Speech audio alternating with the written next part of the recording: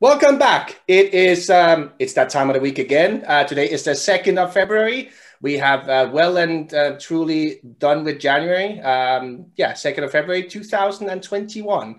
Uh, I'm back again with my good friend Dov uh, for another week of uh, Sourcing Challenge Weekly.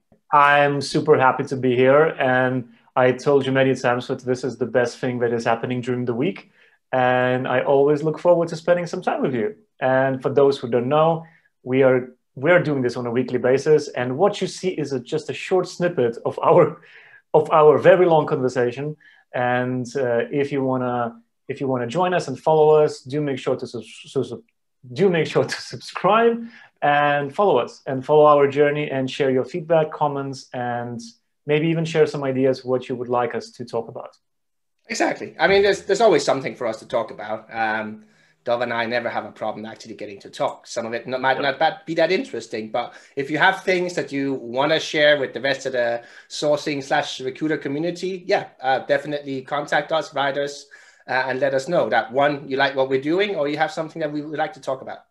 And if you don't like what we're doing, we want to hear about that as well, because this is always a way to learn and to grow. And um, don't get us wrong just because we have a podcast doesn't mean that we know everything. And i think that that's uh, the beauty of being a sourcer when we we are always learning because if you if you meet someone who says they know everything i would run uh, because i don't think that's realistic. Uh, because some of the coolest people that we've met in the in, in the industry they're learning all the time. And and honestly i haven't met anyone who would be that kind of oh i know everything kind of type. It's it doesn't happen because no. everything is changing all the time and we do need to explore new things. So yeah. Speaking of uh, if you listen to the last couple of weeks you know that we've been running a promotion uh, which we finally got around to actually make public and get it out there. And i actually got the time to write the show notes last week um, so we could put it up. Uh, robot proof recruiter uh, our good good friend who is running a mastermind, uh, Katrina Collier, uh, has you know because Dov is still in her mastermind, uh, we had a signed book uh, from Katrina that we wanted to give away. Uh, it's been running the last two weeks. We had 54 people sign up that they wanted to be part of the, the competition, uh, and we drew a winner. Uh, and I can announce the winner. It is uh, Laura Gonzalez, who was actually one of the first ones to sign up. Um, so congratulations, Laura. Uh, I will reach out to you directly to get all your details and uh, yeah, hopefully get a little bit of your story as well. Um, I don't think we know each other, and if we do, eh, even better story. Um, but we'll definitely reach out. And for everybody who did participate, thank you very much. We will run things like this again, definitely. Um, we might plan it a little bit better next time so that we have you know, maybe run it for a longer time um, at different prices, but it's definitely something we're going to be doing um, in the future. But thank you for the people who did participate. Um, and Laura yeah. you definitely have a uh, signed copy of this book coming your way, um, which was exactly what I meant with talking about learning, reading books. We keep talking about it, whether that's Katrina's book or Jan's book or uh, we keep talking about different courses and different you know educational things that we find uh, doing our kind of look at what's going on in the week. That's i mean i've been doing recruitment now for 20 years and i constantly whether that's conference talks or online training or books on the subject um, i constantly look for new things to learn uh, because this industry is not static. There's always something to learn. There's always new things coming up and if you don't stay relevant it's going to be a hard like it's going to be hard to stay relevant in this industry.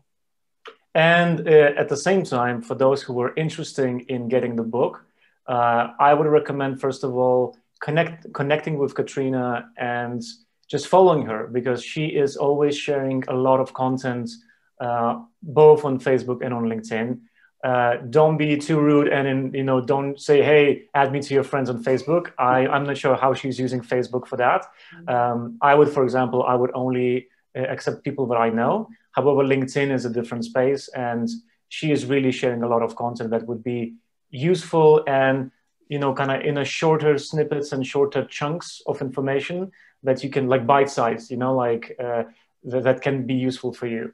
So do uh, do uh, I would recommend doing that.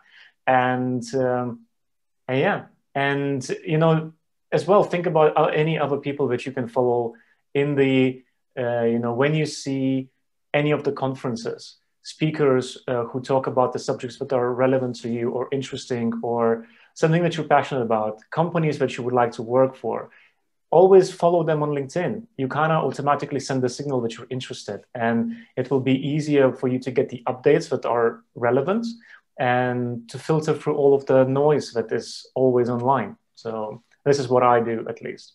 No, and I know, I mean, I specifically know that there's companies out there that when they do searches on people that they want to work for them, will look at like they will definitely have a bias towards people that are already following them as a company. Uh, you know, and if it's a consumer product, they will look at, you know, people who that they can see are customers and things like that. That would always be they would always look at them first for when choosing people that are going to work for. So yeah, definitely follow them, sign up. Um, and with Katrina as well, uh, if you're at that stage where you you really want some more training, um, Katrina's mastermind is like is still open and it's running for a year. Uh, definitely a good investment. Uh, it's something that if you want to take your kind of you know recruitment game to the next space, especially in the kind of mindset about thinking about how you are as a recruiter, how you are um, projecting yourself when you're trying to talk to candidates and just in general like how you well become a robot proof recruiter. Uh, then check that out. The, we're going to put the link in again. It was the link both last week and the week before yep. that uh, to the robot uh, robot proof recruiter mastermind that katrina is running for the next year. I always mess up the name like for me just so confusing it's like okay okay I'll, i can try robot proof recruiter you see, like it's just like I don't know what is it like for me. It's like too many R's or something. You're talking about sourcing challenge weekly, so I mean, we have to like. I think it's just like we're in that club of long domain names. Yeah, and uh, and the mastermind starts on the 16th of February. I will be joining, and uh, there will be, I think, another 14 people uh, joining. So it's going to be a cozy, a cozy hub, um, and yeah, join us uh, I think it will be definitely fun. Definitely. Um, and last week as well, uh, we talked about sourcing on kind of untraditional sites, uh, looking at Meetup, uh, Slack, things like that. Uh, in that vein, uh, in the last week or so, Jan Tegze uh, published an article on both on Medium and on LinkedIn, where LinkedIn where I saw it, about how to find people on Clubhouse, which is this fancy new audio network social media uh, that seems to like everybody's signing up on and doing kind of impromptu conferences and talks and things like that. Uh, Jan wrote an article about how to find people on Clubhouse without actually having an account on Block. That so yeah, X-raying into the sites, what, you know, what kind of data is there, what you can find, and and how to find people. So yeah, in the vein of what we were speaking about last time, there is going to be certain um, certain type of people that will sign up there and, and give rich information in their profile on Clubhouse about what they're about and why they're there, or the channels that they're going to be following. Um, like I know a lot of that. Like I'm listening to a lot of podcasts on how to podcast, and a lot of them are kind of going on Clubhouse doing different events. Um, so you know, a lot of affinity groups would be there. Uh, this is just the kind of latest, uh, and uh, as always, Jan is is there to kind of look at how can I find these people. Uh, but I think one of the conclusions that he uh, it's not going to be an exclusive list about everybody that's in a specific channel. Uh, it's just a you know a, a little taster of it. Um, so you you do probably need to have an account. And uh, I mean, the, the more Clubhouse grows, I'm I'm sure there's going to be different different things that's gonna gonna you know that's gonna come with the scale of it. Uh, hopefully, it's something we can do we can use for actually sourcing people on as well. And at the same time, from what I understand, that at the moment Clubhouse is only running on iOS devices. So that's I saw quite a lot of uh, comments on on Facebook and on LinkedIn about it. Uh, if we really think about it, 10, 15 years ago, having an iPhone was really cool thing, and it was um, maybe you know when you had an iPhone, it was prestige in some way uh, now not having an iPhone means that you're a rebel, and uh, and actually part, more part of seventy percent of the world, basically. Yeah, and a lot of people are switching from iPhones away. So it's a very interesting decision for the company to roll out a, a, a really cool solution, only limiting users to iPhones. Um, that's that's to me that's a bit bizarre. I, I would definitely going to be checking it out because I always dive into new tech and, and trying to. I remember I brought all of my friends to Facebook when it was launched way back. And in Lithuania, we had a, a, a similar concept for like a competitor, like a local one. I was like, everyone needs to go to Gmail, everyone needs to go to Facebook and all of that when no one even knew what it is. And that was really cool, new concept. So and and it's a shame that they're limiting the the options for others and uh, i think it's just as much about how big their technical team is. So you need to start somewhere. Um, i know the app was originally supposed to be a podcast recording app um, and they took some of the so basically it's it's a couple of pivots away. Now it's a social network. Uh, that's not really what the idea was originally. So i think it's more of a a bit like slack was just the chat function in a multiplayer game that they then spun out as a separate kind of thing. So yeah, Clubhouse was a, a podcast recording app um, that just happened to be iOS to begin with. But yeah, with the with the kind of recent popularity, I'm sure there's going to be an Android version coming soon. Um, but it's you know it's about having enough people actually sign up and finding some way of actually monetizing it um, so that they yeah. have you know money to hire people like us to find them developers to do the Android version. Exactly. So if you're one of those who is on iOS, do check it out. and do let us know in the comments if you found anything cool, useful, not necessarily for sourcing, but even for content. Uh, if you find any cool channel, if you find any cool channels that you would like to share, please do let us know. And as Dov said, Katrina Collier is actually on there and is, uh, I think, today, tomorrow, one of these days. She's been doing a couple of um, talks and uh, kind of things where she talks about, yeah, recruitment and uh, being human and uh, just being cool like Katrina is. Yeah, and basis. Glenn is there as well. Uh, they were hosting together a, a, show for for a long time, and both Glenn and I we will be joining Katrina at the at the mastermind. So do join us um, if that's your thing. Excellent. And I saw you uh, found the article that Balázs wrote uh, based on the uh, data that um, our good friend Andre Bradshaw had uh, kind of gathered in terms of people using the role sourcer and that the kind of decline, the quote unquote decline in sourcers in the last year or so. And, and you know, I, I don't necessarily want to dive deep into the data because it's, uh, I think by the time when uh, when that article was published, Andre was still, as you said yourself, like that was still a lot of work in process.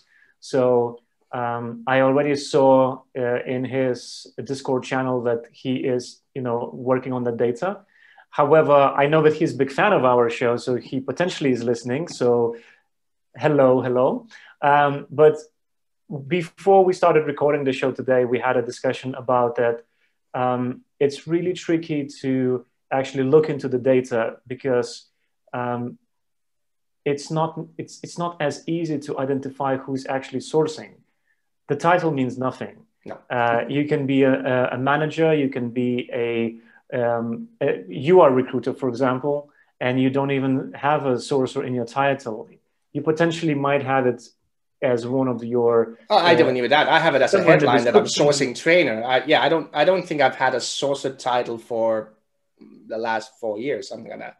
Yeah, and and and that's why like, um, it doesn't necessarily going to show the real uh, situation. However, knowing how detailed and, and how well Andre does all of the research, I'm pretty sure that he will find the the patterns and the way of actually analyzing profiles on a more in-depth way because he's just insanely good at those things and and i remember when he was showing me how he's doing market mapping it's just incredible mm. um, so when the data comes from him i'm really um, i'm really confident that this is actually accurate um, to the level where it's possible to be accurate yeah um, but as well the the question is when I remember when I was looking for sourcers and recruiters myself, you don't necessarily will know who is sourcing unless you're talking to the person. Yeah. Some of the profiles can be really empty and don't even have sourcer, but at the same time, uh, just having a title sorcerer actually means nothing because we we all know that um, there are a lot of different types of sorcerers. So some are more researchers who just do market mapping and they do long listing and but they don't really engage with people. Others they do like everything up until the moment when the person that you screen or talk to start engaging says i'm interested and then they move into the next stage and then the recruiter takes over. And then you have for example someone like you who's a 360 recruiter who does a lot of sourcing. Mm-hmm. so you kind of no you, you, you blur the lines a lot and that and that's always the thing. It's like yeah if you just look for title you're not gonna you know find everybody. If you search for skills sourcing you're gonna get some procurement people in there as well. Uh, keywords same thing and it's like every country have their own you know what they call it uh, in germany it's active sourcing you know every kind of it's all like our industry has a habit of coming up with a new title every five minutes so um, like, like nobody calls themselves a recruiter. you know they've been two minutes in the industry, then they're a senior uh, talent acquisition whatsoever. Um, so it's like, yeah, it, it's difficult based on you know this data to kind of know is there been a decline. Like I remember uh, LinkedIn did a lot of work in the last couple of years for their um, the LinkedIn Talent Insights product, which is very much that kind of market mapping thing that you buy separately. So you know, it's it is really powerful. It I, is powerful. I, I had I had access to it for a short, yeah. for a brief time. It's incredible the insights that it can give you, but you need to but, have. but even with that, comes only from data that is on LinkedIn not just that it's not even all the data that's on linkedin because what they've done is because they also know there's like titles like there's as many as you know at there's sand on the beach um, they're trying to which is like if you run the same search in the different like in talent insights as you would on linkedin recruiter. You'll get more people on linkedin recruiter most likely because uh, talent insights they try to bulk different titles under in like groups or families of titles um, so you get good results, but it's depending on the country and what you're looking for and how far they kind of are with grouping those different things into categories. You're not going to get, you know, a, a, complete picture of it. And that's a similar thing with us. It's like I know Amazing Hiring was looking at tech recruiters at some point as well, kind of trying to map them. Uh, and if you have access to that kind of paid version of Amazing Hiring, it's a separate category, tech recruiters. But even there, it's like there's a fo- lot of false negatives um, there's a lot of people where it's like it's not really like if I was looking for technical recruiters, that's not you know always what I. Um, so yeah, it, it is difficult. I mean, but uh, that's our job. It's about knowing the intricacies of looking at past titles and current titles and you know putting keywords the right places and kind of knowing it's like I can search for skills and keywords or separately. Um, there's never one search that's going to cover everything. Uh, and yeah, as you said, Andre is really good at like pulling data, uh, which is also why like I would love to kind of see when his research is over, kind of what he finds, what what his findings are. Um, but the Balázs article was a good kind of first step with reading a little bit out of that. Uh, because yeah, there has been a spike in people that calls themselves some variety of sourcer, um, and it, but it looks like it's going down now. But I think just just as much, whereas yeah, we are specialists, um, and in a world where it's very much kind of the market is driven by lots of unemployment. People are applying a lot. Um, there's going to be less investment in people like us that go out and actually find people. Um, yeah. And I think that's what we saw is in a lot of countries last year where uh, freelance sourcers and freelance recruiters uh, were let go because like companies were had hiring freezes. A lot of big companies had um, had layoffs, so a lot of a lot of good people that normally would not be available all of a sudden became available and were actively applying for jobs, uh, which mean, meant our jobs got you know more about looking at the people who applied rather than going out and finding them. So yeah, you know that's that that's what it is, and you're gonna have those cycles. I I was you know I've been through the same thing in 2008, 2009 with the last kind of financial crisis where you had a couple of years where you know being a recruiter wasn't as easy. And a lot of people left the industry. I've seen a lot of them kind of come back now but uh, i have friends who you know they become personal trainers for 10 years in that kind of in the middle of it uh, because recruitment was it was impossible to get a job. So you know we'll, we'll see how it goes. Like i don't i haven't seen a kind of same slump as i did in the financial crisis of 2008 Um, like a lot of the jobs are coming back now. We can see companies that like that we we worked with in past are are kind of scaling up again, both in terms of contractors and permanent employees. So we'll see how it goes. I would I would look at this, then I would look at it again in a year, and kind of see like has it evened out or are we on an, an upswing again? And you know, uh, from um, as someone who is looking for a job right now, I I have I have saved the search on LinkedIn for Sorcerer, and and I get like email notifications about companies that are looking for someone like me. Of course, their their algorithm is far from Spotify or Facebook's or, or, or, or Google's like they really need to to get their stuff together. Uh, however, there are a lot of big companies, really good brands who are expanding and who are looking for sourcers, who are looking for technical recruiters, 360 recruiters, senior managers for recruitment, even directors. So it doesn't seem that the industry is um, slowing down. No. However, I do understand where, where it, when you look at data, that's very different. Uh, it, you know, you can be looking at the number of recs that company has, but that doesn't necessarily mean anything because only the internal team knows how many of those recs are actually active and there's we, always we, we both been in companies with, with yeah we both been in companies with a lot of evergreen recs that like they're always going to be there. Like they never really close them and it, it doesn't necessarily mean that they always recruit for them but they always build pipelines. Pipeline. Yeah, yeah. but no um, and a lot of them got closed last year because it's like you don't want to be the only company in your industry with 200 open jobs if 100 of them is just pipeline roles because people will flock to them and will expect to get an interview. So a lot of those like evergreen job posts got taken down last year, uh, and I think a lot of them are not coming back again. So yeah, there's still a few companies that are always going to be hiring, especially recruiters and sourcers. But a lot of the kind of companies that traditionally had very big sourcing teams are not act as active at hiring as they were like a year ago or a year and a half ago. So uh, we'll kind of see where it goes, and I, I, think it comes back as well. If you are, you know, a sourcer, uh, if you are a recruiter that that kind of wants to be specially specializing in sourcing, it's about keeping your options open. Like I've, you know, I've been in jobs where the job did not say sourcer, but by talking to the team and looking at where they were, I knew that 90% of my job was going to be sourcing, even though my title was, you know, full stack recruiter, uh, because there was no applications, like no, like nobody knew the company in that, you know, that location. So I knew it's going to be sourcing, and it's about looking at that rather than you know going too directly on titles. So, but yeah, do yeah. yourself a favor as well, and keep learning. Uh, if you if you're very much specialized in sourcing and, and the only jobs you see is, is for full stack recruiting, then start finding out like where's your weak spots it's like what is it you're still missing?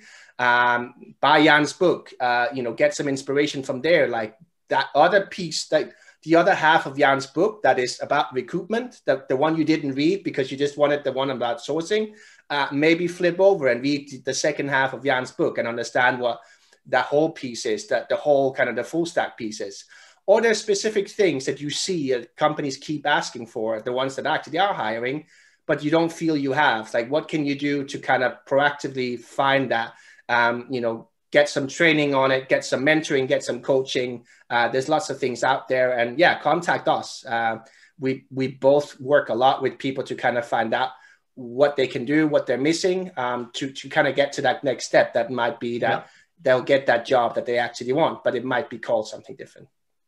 And i don't know if you've noticed yesterday but our mutual friend friend mark from Elastic, uh, he shared a post on Facebook as well, um, raising a question that I remember we spoke about him one year and a half ago, and it was still the same situation. So he was trying to find a technical recruiter to join his team. And I don't think he was looking for a senior person, but just a technical recruiter.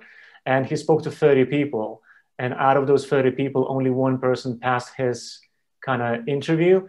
And and he wrote like really honestly like what are the challenges and this was one of the things that he was doing at the uh, SOSUV when he was delivering a talk how to hire engineers and how to approach them and how to talk to them and um, and, and certain things like what is the difference between Java and JavaScript, um, which is not the same. It, it sounds the same. Uh, I when I was looking and trying to understand the difference myself, I, I, came across this video from Codecademy, and they said um, thinking that Java and JavaScript is the same is the same as thinking that Doritos and donuts is the same because they all start with dough, uh, which kind of is a very good example because just because something sounds the same, it doesn't mean that it is. And um, I remember going back when uh, when we were helping at the consultancy Rec to Rec with Andy to um, to help people find their jobs. Um, we realize that um, what people are missing when they go to interviews is they really miss the aspect of being themselves. They try to cover this stuff up. They try to create this kind of fake bubble. Oh, I know it all. Uh, I, I've, I've done this. I've done that.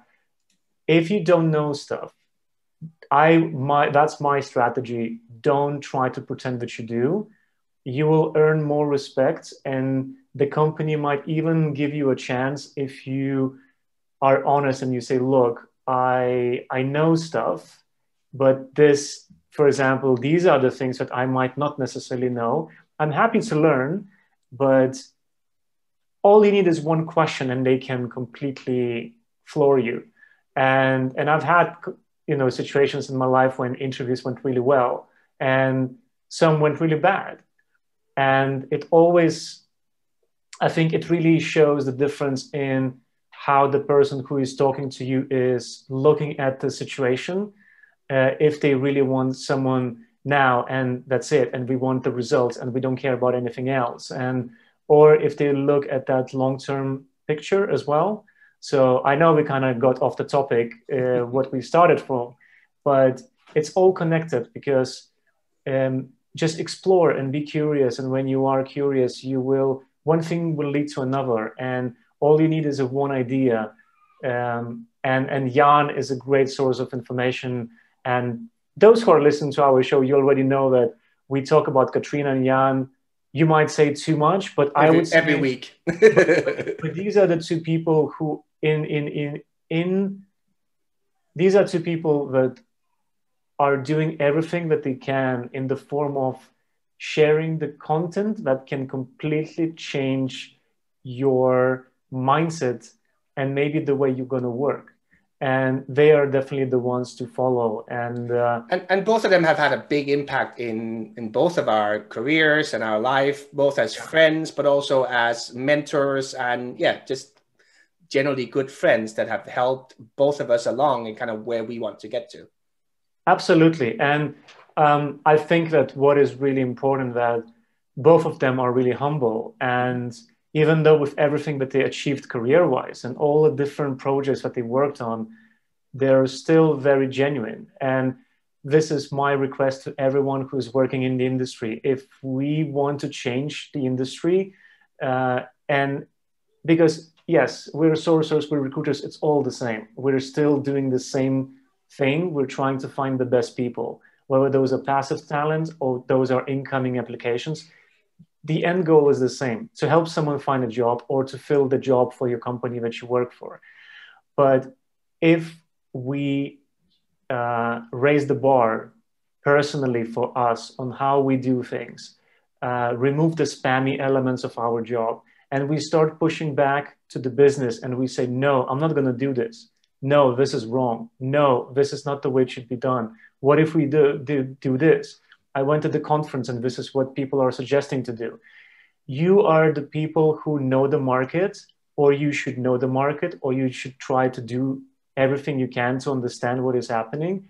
And you are the people who can influence the decisions and and but use that based on data. But you need to get that information from somewhere and books and articles and a lot of research that is publicly available and different tools is the best place to, to, to do it because then if you're going to do that extra step yourself, maybe in five years from now, when someone is going to be Googling recruiters are, it's all going to be positive mm-hmm. because it's all down to us. It's not, and, and there are so many incredible people out there who are doing their job. And they're doing more than their job is actually actually asking to do and we need to support that and only we can actually make that change. So exactly. Look let's leave it at that. I know you have a couple of talks coming up in the next week as well.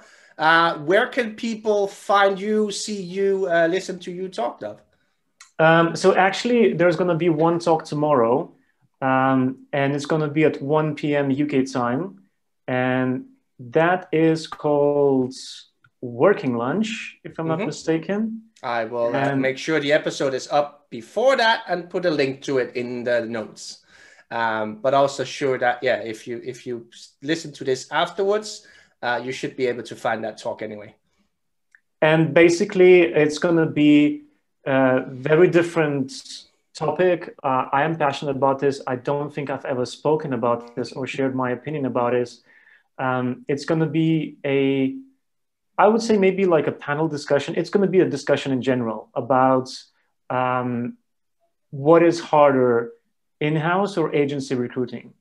And I have some ideas that I want to share because I already mentioned quite a few times that I was, I'm in between both worlds, and uh, I believe that there are a lot of different elements to to to how things should be done. Um, well, because this is recorded pre tomorrow, uh, I can say that I don't believe that it's, I don't think that the question is right. It's not about what is harder. Mm-hmm. I believe it's more about what, where you think that you can do more, um, bring more value. Yeah. There are a lot of different people, and not everyone can work in house, and not everyone can work agency. No, it's definitely something that I would want to circle back to on next week's show as well. Um, yeah, anybody who knows me knows that I started an agency as well. I've done RPO, I've been in house, I've been freelance. Uh, I'm back to essentially back to agency RPO. Um, so I've seen, I've done the whole 360 uh, literally uh, and kind of come back full circle. So I'm looking forward to the panel tomorrow, and I would definitely want to pick that up next week in our show and uh, and talk more. Uh, and uh, if it's been a slow news week, we'll probably fill a whole show with that. Uh, I can easily see us do um, because I have a lot of thoughts about that as well, and I had a lot of thoughts before I kind of joined an RPO again about what I thought I could bring from you know 20 years of experience, but especially from like six seven years of of sourcing that I was missing when I was agency the first time uh, yeah. or when I was RPO. So yeah, definitely looking forward to that. Uh, you're also you're also speaking at uh, another event. I think that's beginning of next week or. Oh, L&D Cares starts on, on the 9th. So it starts on Tuesday. So that's Tuesday. Okay, so we should. But it's, yeah. it's like four days event, but I'm on one of those days. I think okay. I'm on Tuesday actually. But the cool thing is that in both of the events, um, it's I'm I'm you know I'm going to be able to share different different ideas, yeah. and for me it's always important to to share something that potentially could be useful to the audience. It's not about me bragging about what I did. I don't I still don't feel that I, I would have accomplished a lot professionally. I just feel that certain decisions in my in my career led me to having the experience in and maybe certain diverse experience as well because i remember i had some some managers who were looking at my profile and they will be like okay so you you are quite a cookie like musicians salespeople data ux and you know and, and recruiters.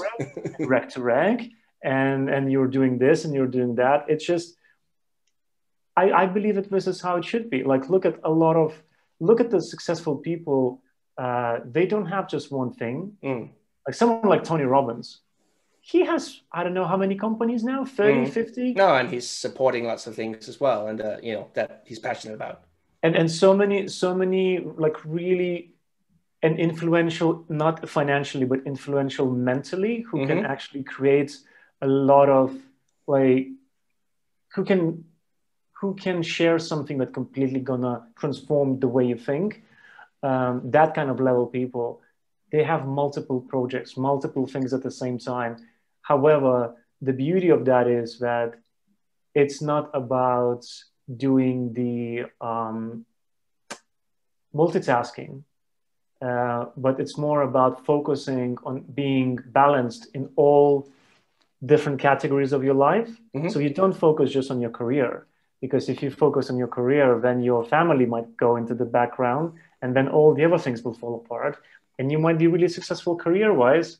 But if none of other things would work, nobody should share. None or nothing works. Yeah, yeah. So um, yeah, yeah, okay. So I'll, yeah, I'll, I will definitely be sharing that next week, and uh, then we can uh, talk about the experience that I will have talking about how to get a job. And this is definitely a topic that I'm really passionate about because I believe that my I believe that my strategy when it comes to handling job interviews is different in the sense that I see it as a two-way street and you need to be given exactly the same amount of time to question to, to have time to ask questions mm-hmm. as someone is asking you questions and for example if someone would tell you know like they used to uh, i don't know like 10 15 years ago when you would go into job interview they would ask you oh so what do you know about our company? And they would quiz you about you know like all of the questions. So it's like when the company was established and uh, basically this is google data. Like yeah. you need to know like a pub quiz. I'm not here for a pub quiz. If i know where to find data i will find it. Do i need to memorize it? I don't think so. Yeah. However uh, i think one time i did really cheeky thing when um, someone asked me oh what do you know about us? And they were that company was approaching me not the other way around. And what do you know about me? And about us as a company. I was like well this is what i what i know about you and what do you know about me? What is not on my cv because we already spoke about this you know you can easy if you're interviewing people and you're looking for someone to your team especially for recruitment for sourcing and you're focusing on someone who was talking at, at, at the, the chances are that to find someone who talked at the conference in 2020 is really high because there were so many events. Yeah. So I believe that if you didn't bother looking or just Googling person's name before you talk to them, just to understand what what they're doing outside of their nine to five, I think that potentially is lazy. And you show that you didn't do your research because we put the pressure on candidates to do the research but we don't bother doing the research ourselves. And I don't think it's fair. So I'm, I'm going to be happy to talk about it next time. The last thing that I really wanted to share uh, was that uh, I think, again, it was Jan who, who reshared this. Uh, so thank you, Jan, for always uh, keeping up, uh, keeping us up to date to really cool content. Um, there's this guy, Benjamin Strick. Uh, you can find him on Twitter at Ben Doe Brown. We will put this into show notes and he is sharing a YouTube channel. He already put six videos on online, and he is calling the series of videos OSINT at Home. And we already talked a bit about OSINT. For those who don't know what it is, it's uh, intelligent tools diving really deep into the data. Uh, you know, trying to map uh, not necessarily the uh, like to find like this is what is used in um, like what police and intelligence services are using in their uh, when they're doing their in investigations, right? And uh, quite a few people in the in the sourcing community is already obsessed with it, and they're trying to look into it and what could be done differently. Um, so out of those six videos, I can just read the titles, and you will see how insane it is. So the first one is starting an inv- investigation with image reverse search. Um, then five ways to find EXIF metadata in a photo or video, advanced search operators with translates, identify a location from a photo or video, uh, geolocation, creating a panorama from a video for a geolocation. Um, and then we have find when an image was taken with satellite imagery. So it's not necessarily something that you will be using daily, but just understanding and diving a little bit or having a little bit of understanding when it comes to those things can really spark some curiosity and hopefully creativity. And I will repeat myself again for those who haven't seen Don't Fuck with Cats documentary on Netflix is exactly about this. When you have a bunch of people who decide to figure out what happened and who did it, and they use all the publicly available tools to actually find the person. And it just ends up being this like manhunt. It's insane. Um, so I highly recommend. Sorry about the swear words. I'm sure you're going to put a beep on it. Uh, you always do. Uh, but this is the official title, so I can't really do anything. So um, until next time, uh, it has been really nice hanging out with you again. I will see you next week, and uh, yeah, um, share this with anybody you think should uh, should listen to us, and uh, we'll see you again. Until then, it's always a pleasure. See you next week.